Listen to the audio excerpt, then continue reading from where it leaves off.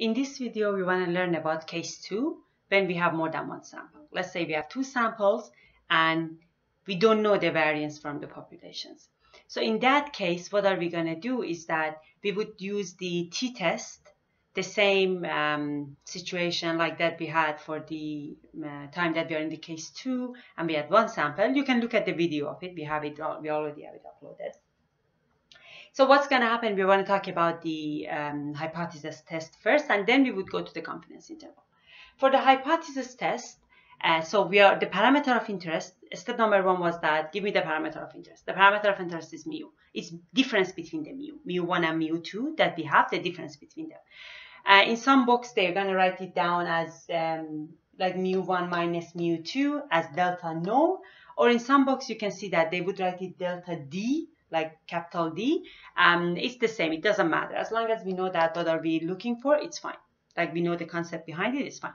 So we are, the parameter of interest is difference between the mu.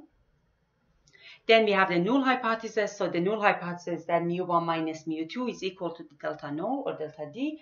And alternative hypothesis that when they are their difference is not equal to the, that ex, um, expected value, that value that we are were hoping that we would have as a difference between that, like delta null. So that was one, uh, we had three steps. Step number four was that give me your test statistics. So we are in case two here. I can write down here like, um,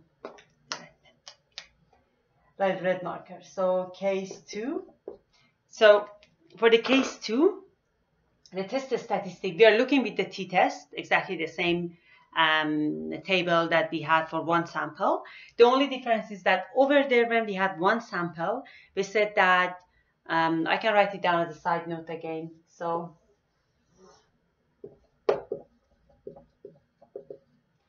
um, so over there we said that when we have one sample, we are on case two,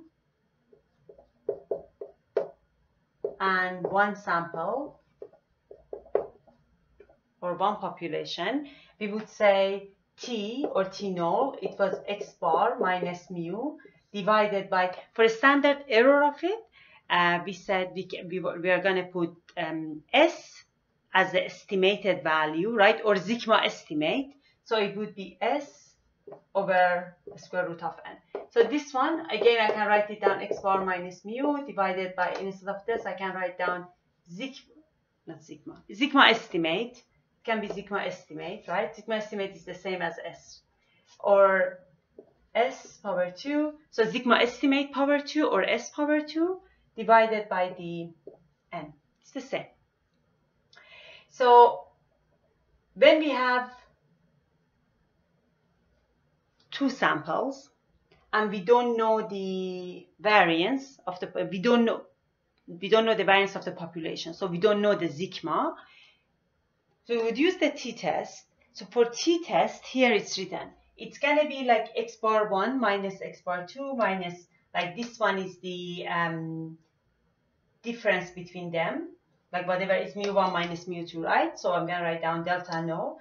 And then for the standard error, I would put, put down like S pooled, like because we have two, think about it, I have two samples, that these two samples they have two different variance. We don't know the variance, but we know that they can be different. So this is the general equation of it. If two variance of these two samples, they were the same, that's fine. So you're just gonna, in this equation, S1 and S2, they're gonna be the same. So we would use the same equation. We, we would name it like SD. Don't worry about that one. There are many equations that we have, but the concept behind it is like this. I have like my SP, like S pooled, you're going to pull your um, pool your variances power 2 right? And then this is one number sp and it's equal to this. And then times like 1 over n1 plus 1 over n2 like the same things that we had here. Is s2 times 1 over n right? So we would have sp here. We are going to pull the variance and then like n1 and n2 what's happening here is that sp power 2 um, when we are looking for these um, variance, like pooled variance. So what we would say is like n1 minus 1 times s1 power 2 plus n2 minus 1 times s2 power 2 divided by n1 plus n2 minus 2. So this n1 plus n2 minus 2 it's equal to the degree of freedom as well.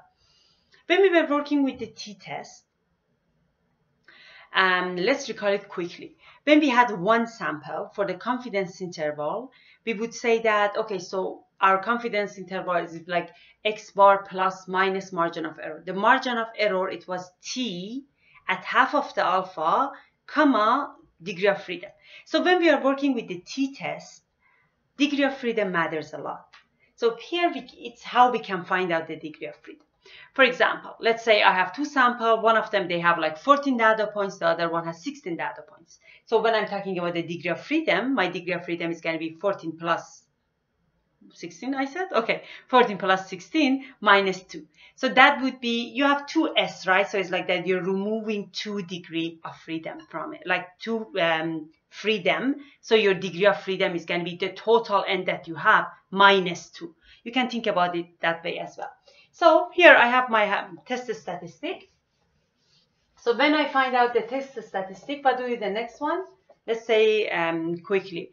It would be um, for the test set. So I found the, let's say from the beginning, parameter of interest mu, step number two, the null hypothesis, step number three, alternative hypothesis, step number four, test statistic, step number five, alpha, what's our alpha?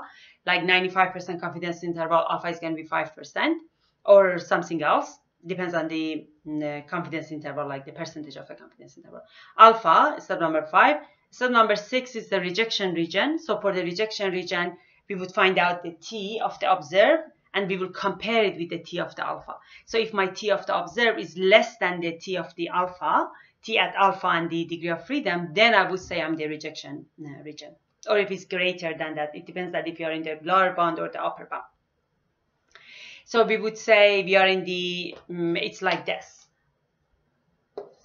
Just quickly, let's say here I have the t uh, at half of the alpha, let's say it's the two-sided, uh, half of the alpha and the degree of freedom. And here is t and half of the alpha and degree of freedom. So df is the DOF, degree of freedom. In some books they show it by nu, but some books they show it by k. Um, we would call it degree of freedom. Um, it doesn't matter what symbol are using, right? So here is going to be minus t of the alpha. So this area and this area, these are rejection region. The same here. So this one is the rejection region as well.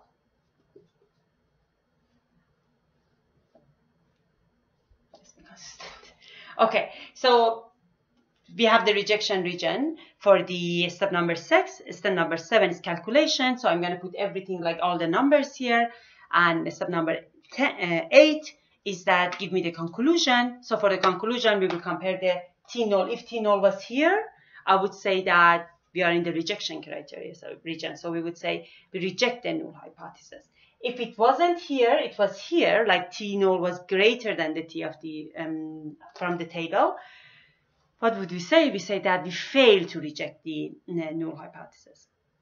And null hypothesis is this area. Null hypothesis is that, okay, so whatever x bar 1 minus x bar 2 that you found, it's going to be like, there is no error. There is no, we had the type 1 error here, right? So this is the same as the type 1 error. So it's like that we are here. So it's like that there is no uh, mistake in it.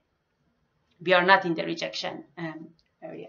So let's see, this is this was my um, hypothesis test eight steps. The next step, like the next thing that we want to do together is that we want to construct the confidence interval. So for the constructing the confidence interval, let's see I. Construct confidence interval. So for the confidence interval, um, what we do is like, again, it's very similar to the uh, when we have one sample. So we would say instead of writing down mu is between two um, bounds or like lower bound and upper bound, we would say mu 1 minus mu 2 is between two numbers. And because it's the continuous situation we are talking about, so it doesn't matter if we put the equality sign or not just one tiny point, so it doesn't matter. So mu1 minus mu2 for the lower bound and upper bound. So I would say here it's going to be x bar 1 minus x bar 2 minus my margin of error. And here is going to be x bar 1 minus x bar 2 plus my margin of error. So instead of margin of error here, I would put down like t at half of the alpha, the degree of freedom, and t at half of the alpha, the degree of freedom, and then I'm going to put down my standard error. The standard error is whatever you have in the denominator here. So it's going to be the standard error. So this is the mother equation for it. It's the, it doesn't matter if my like the S1 and S2 they are the same or not. So when you go through the notes or you would go through the books, they said that okay, so let's have true cases. So we would have the um, we have like the situation that two different, like two different cases that we have like the, RS, they are the same and our S, they are not the same, like the um, variance or standard deviation of the two samples that we have. So what are we going to, but it doesn't matter. As long as you use this equation, like for example, they say that, let's say if N, they are the same, listen to this part. If N of two samples, like N1 and N2, they are the same, and we have same S for them, like or we have the situation of the pair t-test in that case what are we going to do? Instead of this se we would use down we, we would use like sd like sd times um 1 over square root of n. So don't worry about these parts so just know that this is the general equation. Whatever you put in it it's going to give you the answer. So you can you can use with that equation as well. So that equation is like this. We would say t at the half of the alpha and the degree of freedom.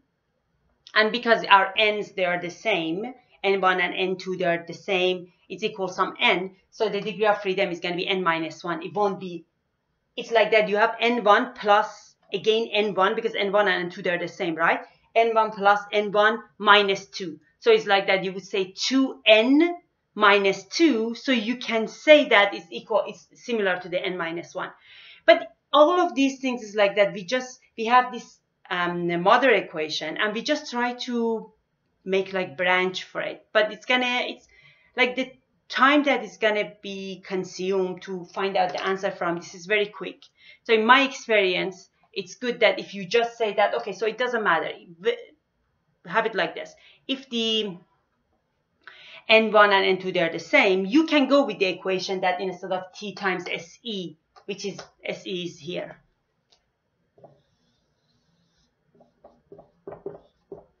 So instead of this, you would say it's like T and then times SD, so standard deviation, and then times 1 over square root of n. It's going to give you the same answer. So it's better that, that's my suggestion or recommendation, that we would stick with this equation as a general equation and you, we would use it. However, that those equations that you will see on the notes like or on other books are the same. The only thing is that those are not the general form. This is a general form. And you work with this one a lot in the lab. So think about it. You have two samples. You get the two samples and then you calculate the S, like S1 and S2 from your sample. It's not the same. So what are you going to do? And you don't know the variance of the population. And you want to compare the difference between these two samples. So in that case, you would go with the pair t-test or this test. So you would assume that those S are the same or you consider them as S1 and S2, mm, I would suggest that you would go with this one. It's, it's worth it, whatever time that you put on it. Okay, so this is for the confidence interval on it. And then we can have the lower bound and the upper bound as well. If you are interested in the lower bound, just consider this. Instead of half of the alpha, you would put alpha. If you are interested in the upper bound, then consider this, like remove this and consider this part. And instead of half of the alpha, again, you are going to put the um, alpha for it. So that's for the time that we are interested uh, on the difference between mu1 and mu2. Um, and we don't know the variance of the, like we don't know sigma 1 and sigma 2, what are them? Or the variance and standard deviation, they are very related, right? We don't know them.